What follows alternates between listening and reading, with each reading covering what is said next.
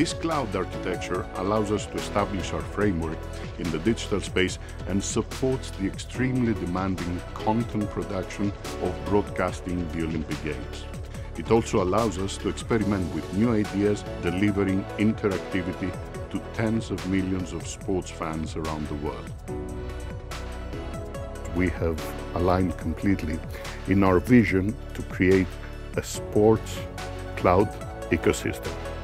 An ecosystem that could provide at the same time solutions that combine connectivity, security, and cloud services we have jointly managed to make the Olympic Games probably the most massively consumed event on earth in terms of media. For OBS, it has really been a huge success.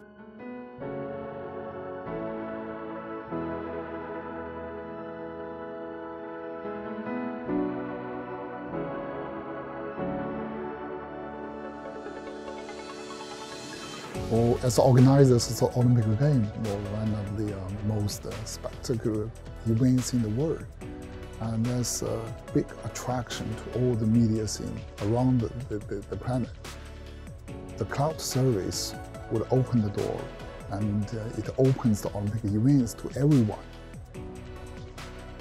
We can largely reduce the staff members and coming into the host city and do every details of the broadcasting technology. That means the same group, the crowd of broadcasting, they can sit in their home, in their living room, in sofa, they say far away from Beijing and far away from Tokyo. But they work on the cloud. The cloud is their new working plate or their new working table.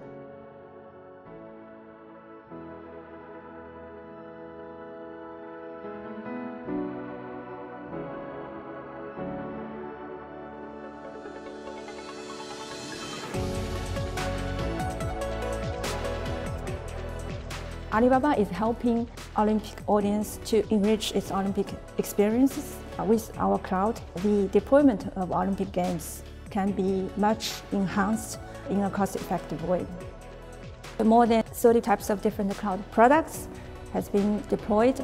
Alibaba also built multiple innovation systems to meet the trend of uh, digitalized Olympics. Alibaba Cloud is IOC's worldwide cloud service partner. More and more workloads are being migrated to cloud. It will require a very powerful, stable and secured cloud platform to make it happen. We are also providing a wide range of intelligence cloud products to simplify and shorten the process of development and integration